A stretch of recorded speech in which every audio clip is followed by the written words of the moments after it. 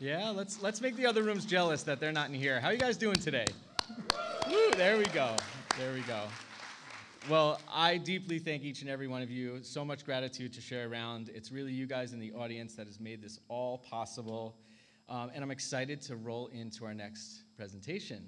So we have Anya Anti joining the stage. Anya is a dear friend and almost a full New Yorker, right? You got to do your 10 years first to get it, right?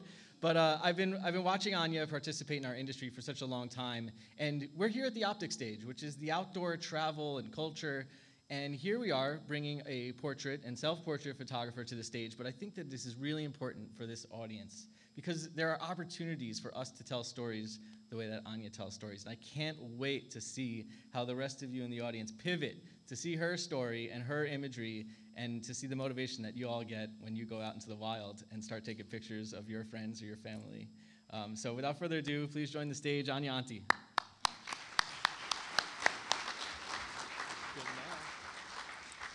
Thank you. Thank you so much for coming. I'm very honored and excited to be here, and thank you, Banish, for having me. So, my name is Anya Anti. I'm a foreign conceptual photographer, and I specialize in on location surrealistic female portraiture with an ethereal and whimsical twist. For me, photography is a perfect medium for self expression through imaginative storytelling. My art is a reflection for my passion for beauty and craving for everyday enchantment.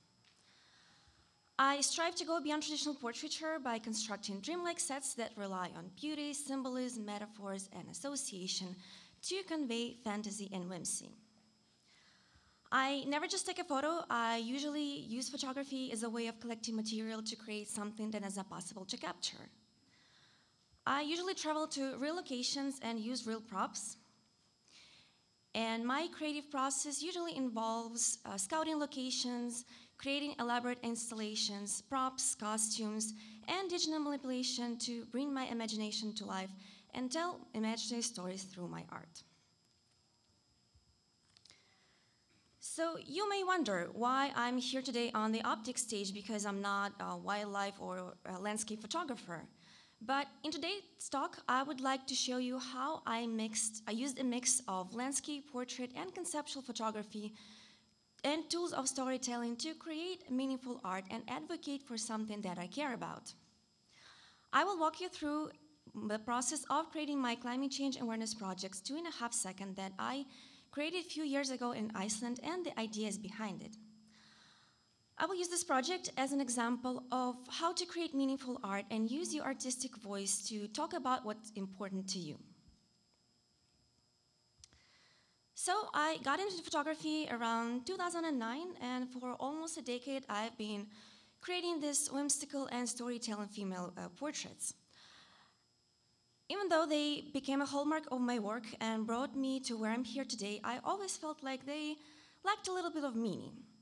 So, as I grew my audience, I decided that it was time to bring more meaning to my work and use my artistic voice to talk about what is important to me. So, let's talk a little bit what is meaningful art.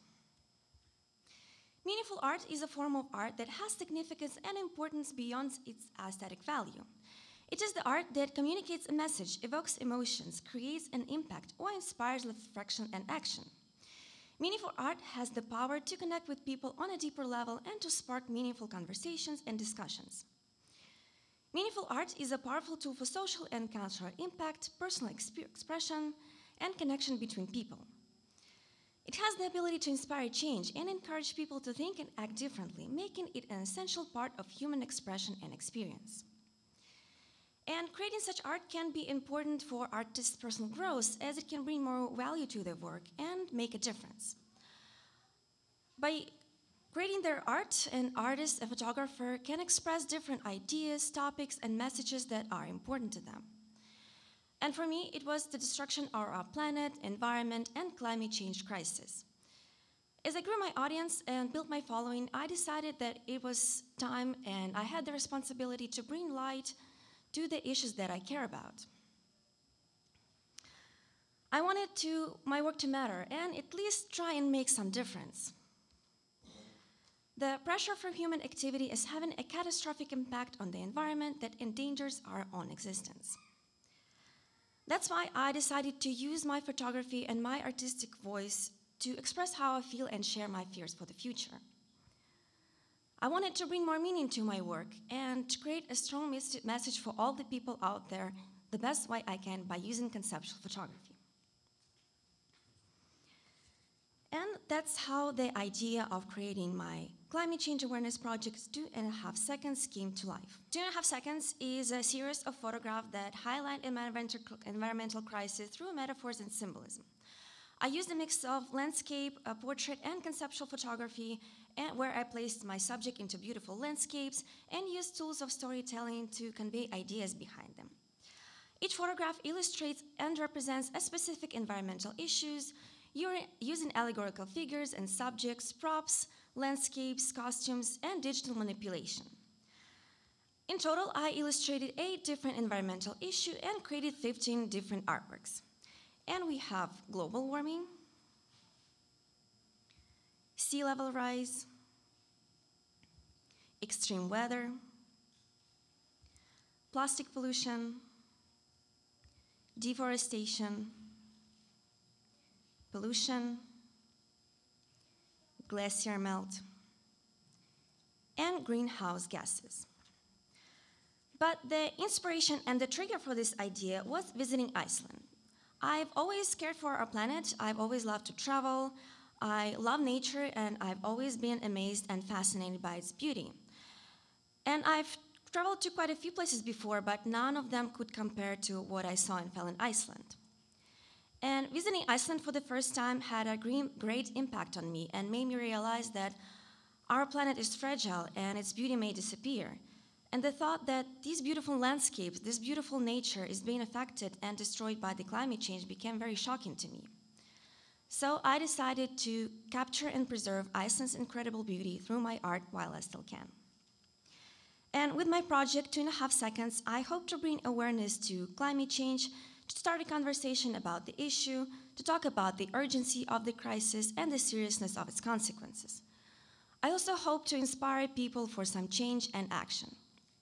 And I will talk more in depth about this project, but for now, let's talk a little bit about what is conceptual photography and how I create my conceptual work. So conceptual photography is a genre of photography that emphasizes the idea or concept behind the image rather than the subject or the aesthetic qualities of the photograph. It often involves the use of usual, uh, visual metaphors, symbols, and stage scenes to convey a message or explore a concept. Storytelling photography aims to tell a story or convey a message through that concept. Storytelling photography is a powerful way to communicate a message or evoke emotions through visual storytelling. And in conceptual photography, there should be a video, sorry, it's not playing, but you can look at my face. Um, in conceptual photography, a photographer typically begins with a concept or an idea. Then they use photography as a medium to convey that idea or concept. And a photographer may use various different techniques, um, such as light and composition, digital manipulation, to convey those ideas.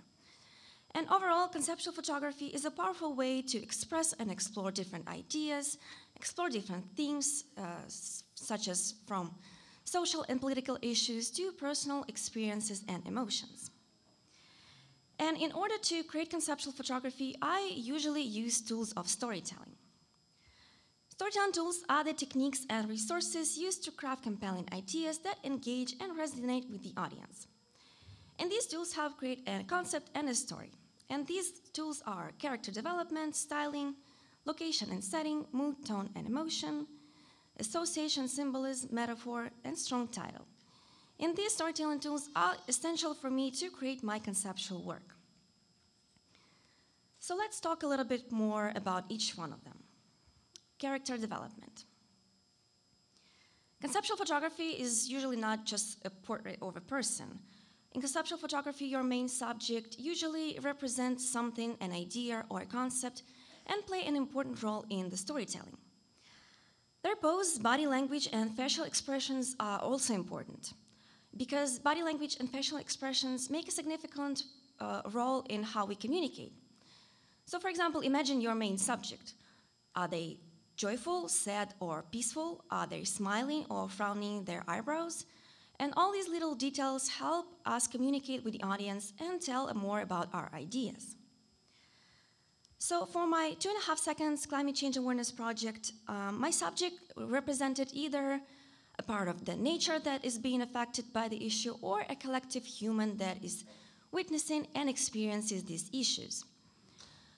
I used body sympathetic language and sad, anxious facial expressions to depict sorrow, anxiety, and despair.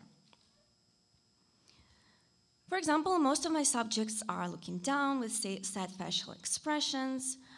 Um, they have very un, um, uncomfortable poses to make my scene look more uncomfortable. Next is styling. Styling choices for your subjects, such as clothing, hair, and makeup, can be also very important and be a part of your storytelling. For example, imagine your main subject, maybe uh, they're wearing a tattered dress or a perfectly pressed ball gown, and those details also impact your story. For my climate change awareness project, two and a half seconds, I used both simple dresses and elaborate costumes. For the images where the costume wasn't important, I use simple, timeless dresses or vintage inspired clothing because they help create that fairy tale atmosphere and also they are non distracting and not overpowering.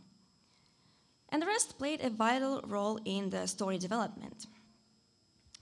For example, for the deforestation image, I created this ball gown made out of the moss to represent flora and the forests. For the glacier melt images, I created this costume that represents the melting ice. This costume looks like melting ice with ice crystals and water drops, and at the same time, it doesn't look like it's a piece of clothing, but rather a part of this creature that represents glaciers. Setting.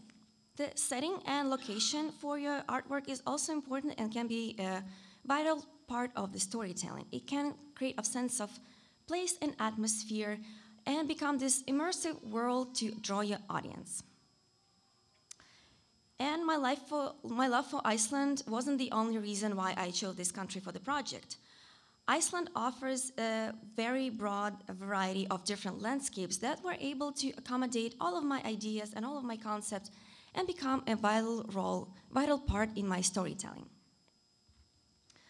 For example, for the deforestation image, the deforestation image I shot in the iconic Icelandic lava moss to blend my subject with nature and create a sense of unity. The glacier melt images I photographed near, next to the real glacier. The Diamond Beach in Iceland is the beach with black sand and these beautiful blocks of ice that break away from the glacier. They float, melt, and are washed ashore by the waves. The greenhouse gases images I photographed at Hverir. Hverir is a geothermal spot in Iceland full of hot sulfur gas. And hot sulfur gas represents the greenhouse gases. Mood, tone, and emotion. Establish a consistent mood and tone throughout your images, either it's light or dark. And also, weather and time of the day can be important in your storytelling and set the atmosphere. For example, shooting during the broad daylight can create a cheerful and joyful atmosphere. On the contrary, shooting during the overcast day and rainy weather can create a feeling of sadness and anxiety. That's why I photographed my whole series either during overcast day and rainy weather, or I waited till the end of the day for that blue hour and soft, gloomy light. Association, symbolism, and metaphor. You can use visual symbols to convey abstract ideas and themes.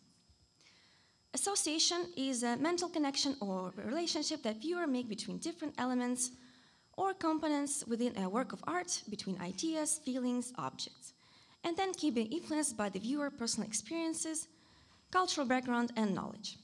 Association can also be created through the use of symbolism, where certain objects or images are used to represent abstract ideas or concepts. For example, a dove can represent peace, and a snake usually is associated with deceit or cunning. Symbolism in art refers to the use of specific object, images, or colors to represent abstract ideas or concept, often with a deeper or hidden meaning between their literal interpretation. Indirect suggestion to express ideas, emotions, and stages of mind. Symbolism is one of the most important elements to give your art depth and meaning. Metaphor. Metaphor in art refers to the use of imagery or object to represent an abstract idea or concept, often by comparing it to something else. In literature, a metaphor is an abstract idea representative or symbolic of something else. For example, when we say his hands are ice, we don't literally mean his hands are ice, right? We just mean that they are very cold. And in visual arts, we do something similar. In visual art, a metaphor is an image that the viewer is meant to understand as a symbol for something else. For example, paper boats can be a metaphor for water or voyage. And uh, in my two and a half seconds uh, project, there were a lot of symbolism and metaphors there. For example, at, on the greenhouse gases image, I hold the planet in a plastic bag. The plastic bag is a metaphor for greenhouse gases that trap the sun energy, warm the planet, and create the greenhouse effect. For the deforestation image, I created this uh, ball gown made of moss, and I created this dark burned dead patch on a dress to represent and symbolize the destruction of the forest, and some glowing charcoals uh, at the bottom to represent wildfires. For the pollution images, I created this gas mask with a tank to represent the bad air quality and a little plant inside of the gas tank to symbolize the only air fresh source. For the plastic pollution images, I created the jellyfish made out of the single-use plastic item to represent marine life that's being gravely affected by the plastic ocean pollution. Strong title. I used two and a half seconds as a title because I wanted to invoke the power of numbers and perspective to create a strong, straightforward, and shocking effect. And here is why. Did you know that planet Earth is four and a half billion years old, and mankind is about 140,000 years old? If we compress the Earth's existence into a normal full day of 24 hours, then we've been on this planet for only two and a half seconds. In these two and a half seconds, we've become the dominant species with a rapidly growing population, causing a catastrophic impact on the environment. We have created the Industrial Revolution and burned fossil fuels, creating more carbon in an atmosphere than ever before. We have caused global warming at a record pace, endangering our own existence. We have cut trees, destroyed forests more than ever before, polluted air, water, and soil we have created an island of waste the size of state Texas in the middle of the ocean. We have caused the fourth mass animal extinction. Three quarters of the Earth's land surface is under pressure from the human activity. In just two and a half seconds, we've turned the planet into our own personal factory. It took almost four and a half billion years all of evolution for us to exist, and we have changed so much in so little time.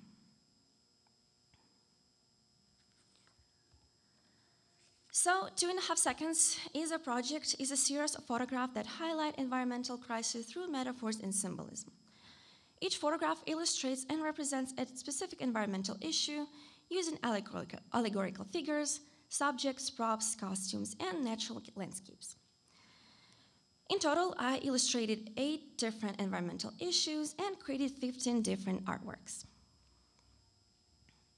It was a very challenging, extensive, and elaborate project. It took me three years in total to develop concepts, find money through crowd, crowdfunding campaigns and sponsorships, build and source props, get my team together, and travel to Iceland on a 10 day trip to photograph everything.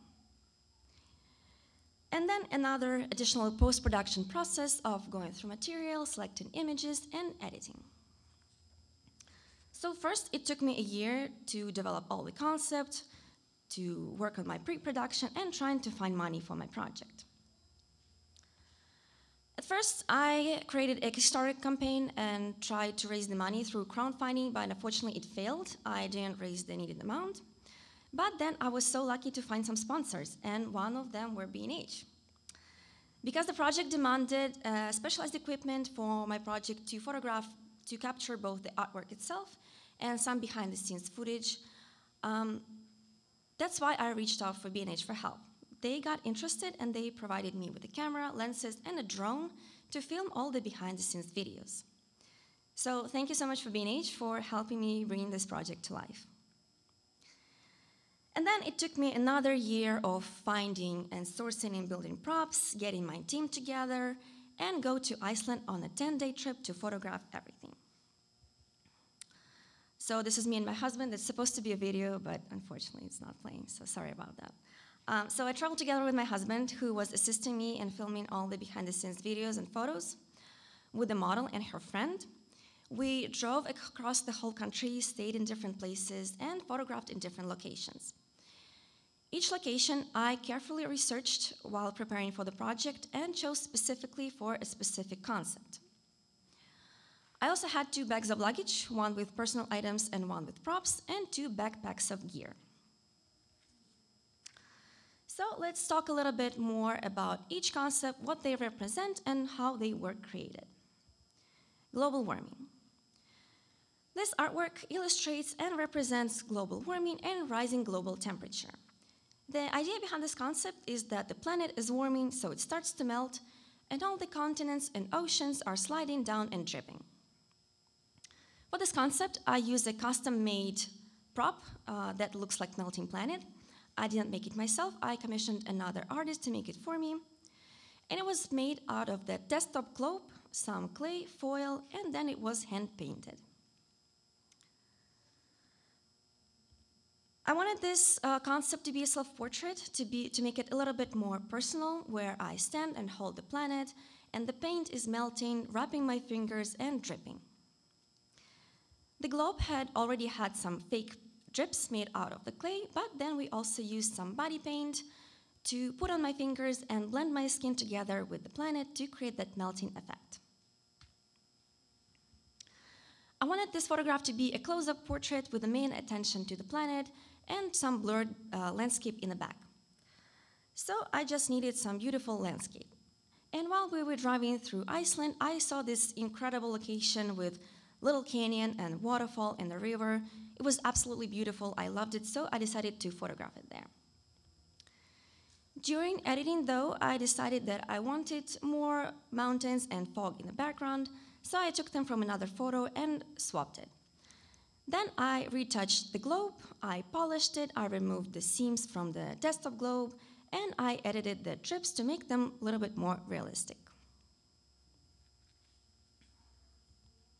Sea level rise. The concept of this photograph represents the rising sea level, levels and coastal floods caused by rising temperatures and melting ice. The idea behind this concept is that the sea level has risen, so everything around is getting flooded.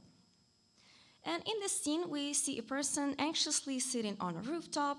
Everything around is flooded. We can only see rooftops of the building and some belongings floating in the water. This photograph was probably the trickiest of all because I didn't know how it would turn out until I got back to New York and started editing. But I had a perfect location in mind for this concept. This pool is an open public space in south Iceland surrounded by beautiful landscapes. It's an open public place. Uh, there is no admission fee, no fences, no administration. It's filled with hot water, so people go there to swim, so it's a very famous tourist attraction. And uh, there's a small changing room in the back and a white brick wall in the foreground, which I used for my concept. I didn't really I couldn't really build my setup there and flood the area, right? So I had to work with what I had. So the day before we arrived to Iceland, I went to local IKEA store and I took some used shipping boxes. And the night before the photo shoot, I tried to transform those shipping boxes into resemblance of this rooftop. I glued some pieces of cardboard together and spray painted them. We also had some stuff with us, some belongings such as suitcase, some dinoware, and pieces of fabric, which I later turned into floating belongings. My team swam in the pool, holding them in the water so they won't sink, and I photographed them separately.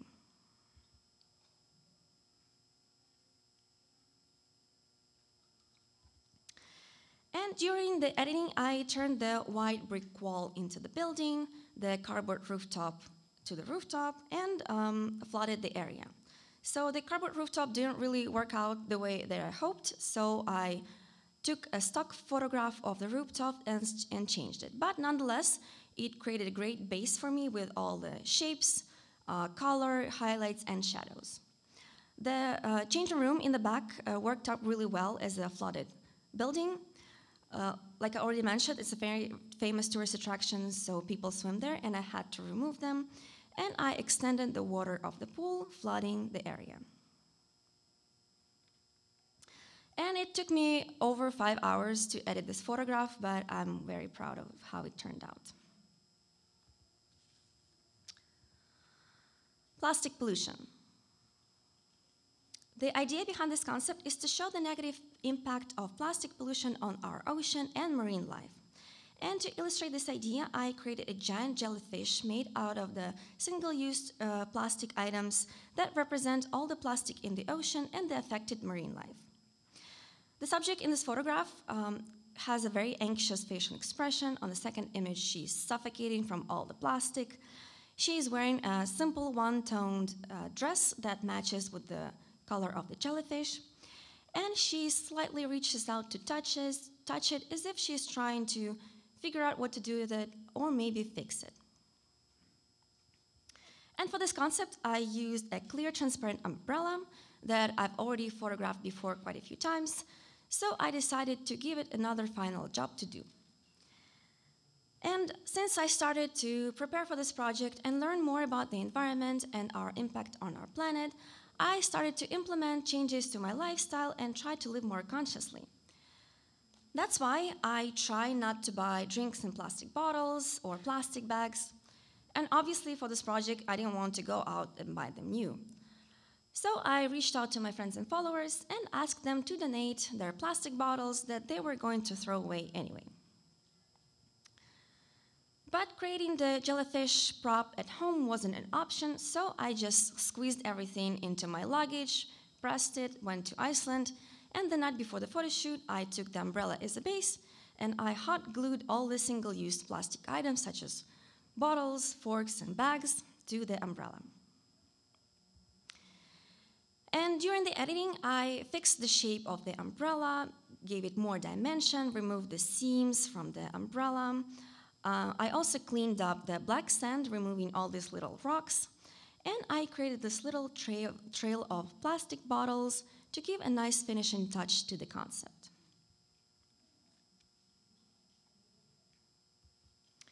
Deforestation. The concept of this photograph uh, represents deforestation and forest degradation. And to illustrate this concept, I posed myself in a moss dress to represent the flora and the forest and create this sense of unity and be the one with nature. And that's why I also photographed this concept in the moss location as well to blend my subject with the surrounding.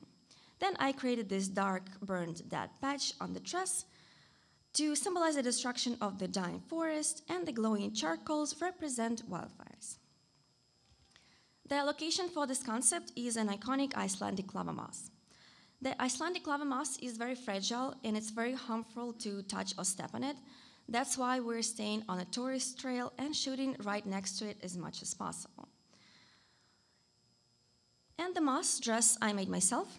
I used a second-hand ball gown that I got in a thrift store then I got some rolls of moss that basically look like mesh, sticky mesh with a, real dry moss on top that I got in the arts and crafts store. And I just stitched my rolls of moss together like a new fabric on top of the dress, and it took me several nights to finish this dress. When I was preparing for my trip, I was really worried how I'm going to transport this dress to Iceland without ruining it. But I just folded a few times, I shoved it into a plastic bags, plastic bag, uh, put into my luggage, and hoped for the best. But luckily, when I was going to fix and mend it on location, but luckily when I arrived, it survived the trip to Iceland and back without any damage. And during editing, I matched the color of the dress to the surroundings, to the moss. I blended it with the moss, And then I added extra moss hills uh, for the in the foreground to create more depth and dimension to the uh, image. And then, like I already mentioned before, I created this dark burned up patch and added some glowing charcoals at the bottom. Plastic pollution. The idea behind this concept was to illustrate bad air quality and overall pollution. And therefore, my subject is wearing working robes to add a post apocalyptic feel to the image. She is wearing oxygen mask with a tank um, that contains a little plant inside to represent the only um, air source for breathing.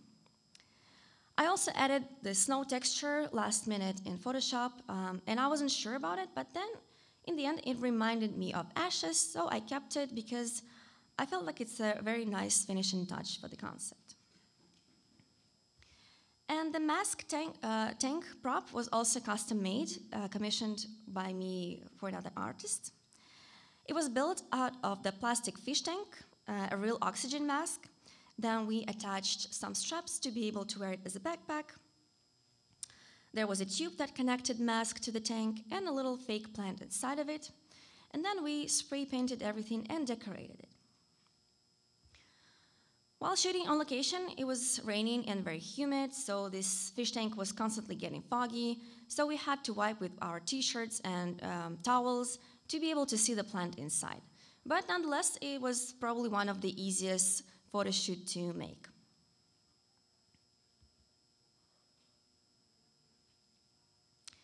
And we drove for hours to this location, and I had no idea of what to expect of it because I've never been there before. But when we arrived, it was absolutely beautiful. Uh, uh, it was perfect. In front of me was this beautiful glacier, and the ground was almost black covered with rocks and no vegetation, which served the idea even better.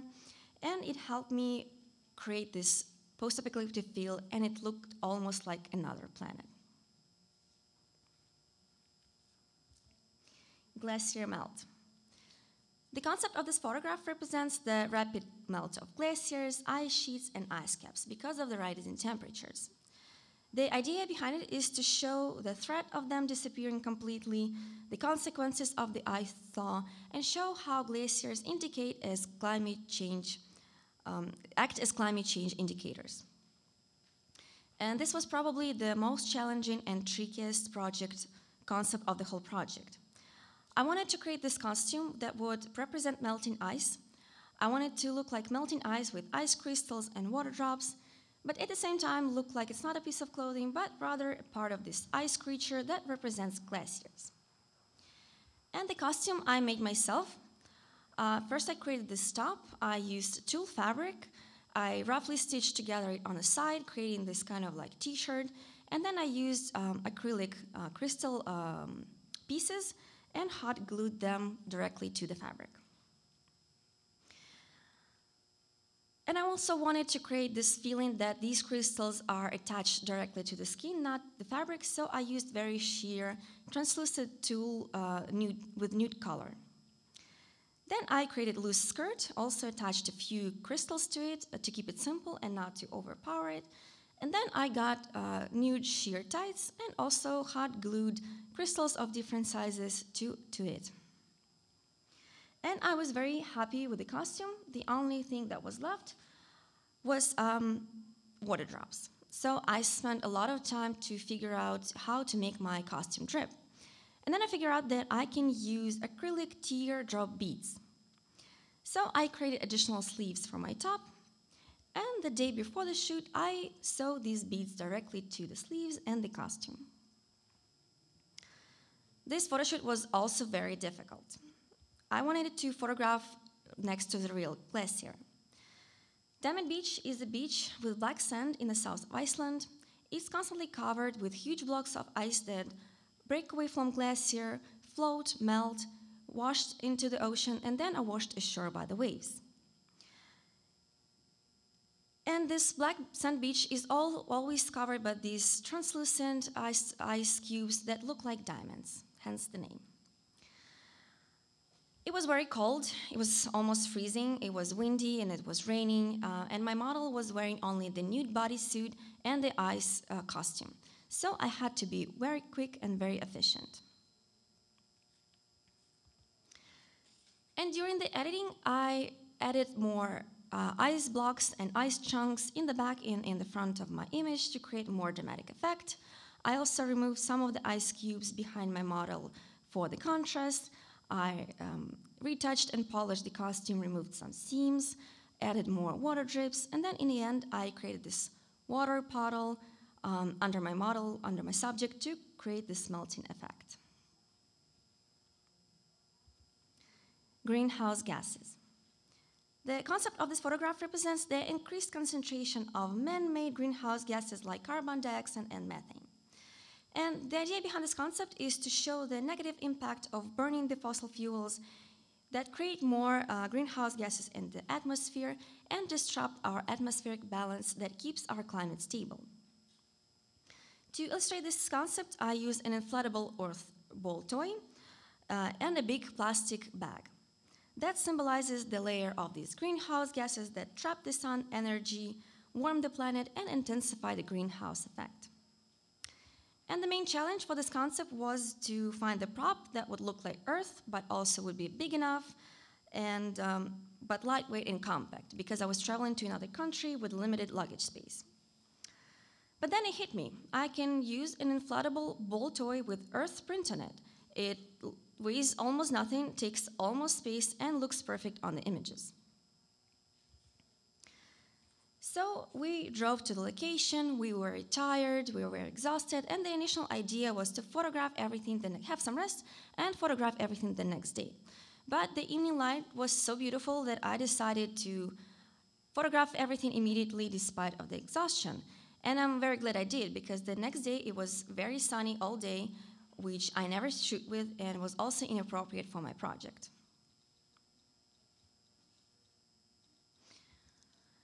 And the location uh, for this concept was also perfect.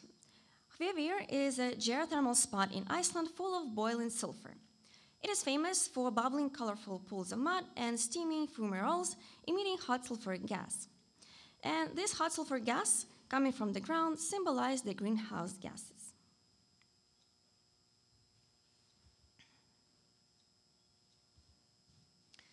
Extreme weather. These two images illustrate and represent extreme weather changes. For the first one, I used an umbrella with acrylic raindrop beads.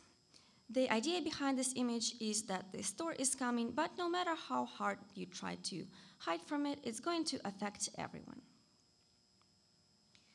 And in the second image, my subject is wearing a raincoat and rain boots. She's holding a broken, inverted umbrella that is being blown away by the wind, and the wind is so strong that she is almost flying.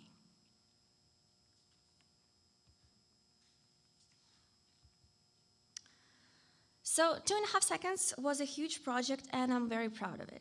I'm using photography as my unique voice to express how I feel and share my fear for the future. I want to bring more meaning to my work and create a strong message for all the people out there. And I hope that my art is clearer and louder than words. Thank you.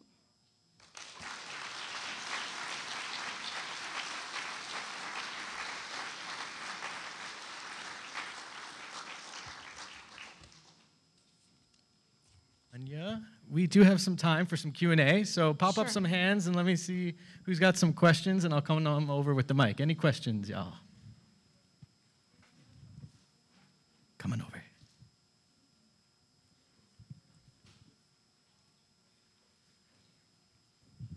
Thank you. I found your uh, pictures very thought provoking. Uh, just wondering, uh, what would be your next uh, project? Would you want to continue on raising this awareness or seek another issue that you want to cause attention to? Um, it's a great question. I honestly haven't thought about it yet because I still, um, talking about this project, I want to bring more awareness about this project that I've done. But I don't see why I don't do another project in the future, sure. Any other questions? Coming on back. I just wanted to ask how long is the actual video? I'm sorry?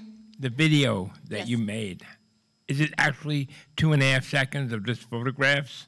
Oh, no, there was just some behind the scenes footage, and I also have a, a short highlight video clip uh, where I show all the behind the scenes and the artwork. So you didn't miss anything important. No, I'm just curious because I'm very interested in a musical group that sounds about very, you know, proudly about the environment, and it would go very well with your your project. Yeah, I have all these videos on my YouTube channel. If anybody's interested, just Google my name and put down my name in YouTube, and it will pop up, and you can see there's all the behind the scenes videos, and um, yeah, Oh, great! Thank you. you're welcome. What is the best way that you have found to expose this work to others? Is it just on social media, or have you had exhibitions that are useful, or printing a book? How would you uh, get this word out to more people? Uh, well, the funny thing that I photographed this project in 2019, right uh, before the COVID hit, and my initial idea was yes to do some exhibition and more talks and give it more exposure. But then, you know, what happened? so it ruined all my plans. But um, right now, it, it lives on social media, and yeah, I'm doing these kind of talks to bring more awareness to the project.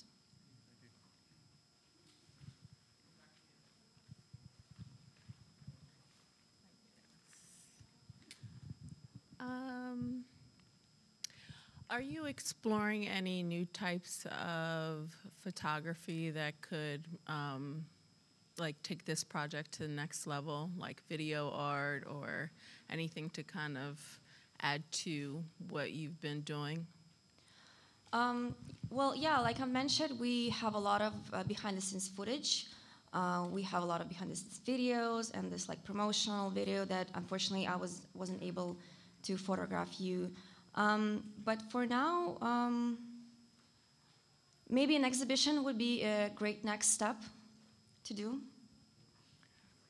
Hi, I have a question about how do you monetize um, uh, this project after it's done, like to cover expenses and to pay assistants? Do you work with any U- United Nations organizations who could probably use your work and for the different programs? Uh, well, I was lucky to have sponsors to cover the expenses for this project, but uh, I never had an idea to monetize this project. I never wanted to earn, earn from it. Uh, my main goal was just to bring awareness and maybe inspire other people to do more research, got interested in topic, and you know, maybe do some change. So earning money was never my intention for this project. So, uh, first of all, thank you for this great promotion of Iceland. I see this the equivalent what Lord of the Rings did for uh, New Zealand. Your work is great promotion for uh, Iceland. Uh, you you seem extremely skilled in building these uh, props. Uh, I was you said that fairly recently you joined photography. Why you choose? So, if you have another artistic background. And why you specifically choose uh, photography to express. I saw some illustrations as well. I don't know if those were yours. Yes, those are- So I'm curious to why was specifically photography that uh, drew your attention was the drive for you. Thank you, and congratulations on your Thank works. you. Um, so um, I'm a self-taught. I've never attended any art school or photography. I don't have like art education, but I've always been a creative child. I've been good in like paintings and crafts and things like that. But because I never went to an art school, uh, I don't really paint. I mean, I mean, I can doodle. You saw my illustrations. That's the maximum that I can do. But that's when I discovered photography, and with photography, it allowed me to express myself and tell those stories not through painting, but through the you know capturing light and using Photoshop as my my brush, I guess. I have a question. Yes. What's your take on AI, and how do you see that moving forward? Have you already incorporated any in your in your art? Um, what's your take?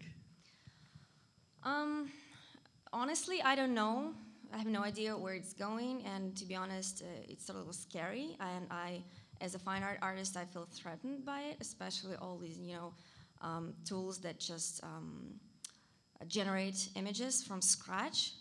So I feel very conflicted about it. But when it comes to Photoshop, the Photoshop is implementing these new very cool AI tools such as generative fill. If anybody of you have uh, tried it, It, right now, it only exists in beta version. Um, well, that I find great and very useful, and I feel excited about it because it's not. I mean, I guess it can generate images from scratch, but I use it. I already tried it. I played with it, so I can see how an artist can use it as a tool versus just you know um, generating images. Um, yeah, so I, I don't know. It's it's it's a hard topic for me. Of course, of course, I feel conflicted and uh, threatened and um, terrified. But I don't know. Maybe I'm pessimist. Maybe it's gonna be amazing, and maybe it just fizzle out, or maybe be, it's gonna transform into something um, that everybody can use in future. I, I think we can all relate, right? It's beautiful and very thought provoking. Thank you so much. Tell us a little about the equipment that you use and how it, it seems like it's almost secondary, the camera and, and some of the other stuff. A little bit, if you can just touch on that a bit. Uh, yes, to be honest, uh, gear is always secondary to me. So, uh, like I mentioned before, I use my camera and my photography more like a way of collecting material. Then I later stitch together and in Photoshop and create these uh, pieces of artwork. So um, I photographed with Nikon uh, camera. Uh, back then, because it was photographed a few years ago, I was photographing still with my old D600 camera. Now I shoot with Z7 and I used only two lenses, the 50 millimeter 1.4 and 85 1.8, I think. So I only shoot with prime lenses, and my go-to lens is usually 50 millimeter, but uh, for some portraits, like with the one, with, the one where, where, I hold the planet, because it's more of a close-up portrait, I use the 85. And um, I didn't use any lighting equipment at all. There was no like LED lights, no flash heads, nothing like that. The only thing that I use is silver reflector, and that's it. And sometimes I use a tripod. One more question so up here. That's pretty much it, yeah.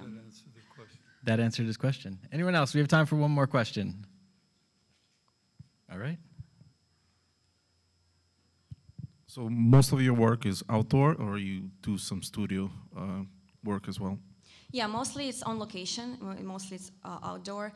And if I use any kind of like indoor space, either it's a studio or sometimes I just shoot in my apartment against the seamless backdrop. I always try to create it as um, more of a set with some additional props and things like that. But yeah, mostly shoot on location. All right, let's hear it for Anya Anti, everybody. Thank you, thank you.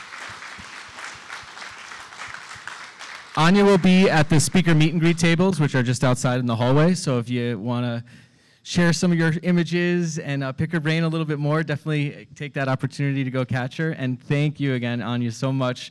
I think this room is leaving the most inspired right now. So share that with your peers as you see them throughout the rest of the show. Thank you.